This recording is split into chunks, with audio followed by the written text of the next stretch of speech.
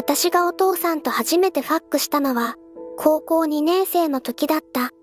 お母さんが家を出て行って、寂しそうにしていたお父さんを私が誘った。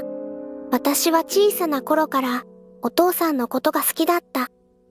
それから私たちは日常的に愛し合い、パックするようになった。私たちは事実上の新婚夫婦になった。私にとっては初めての、お父さんにとっては二度目の、甘い、甘い、新婚生活。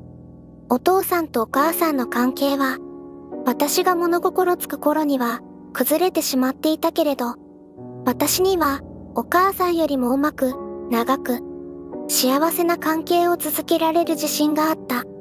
私はお母さんよりも若いし、お母さんよりも深く愛されていた。そして19歳の時、私は妊娠した。私は産みたいと言った。私は子供ができてからも変わらずに夫婦関係を続けられると言った。私はお母さんよりもいい母親になれると言った。でも、お父さんは私の出産に堅くなに反対し、決して譲らなかった。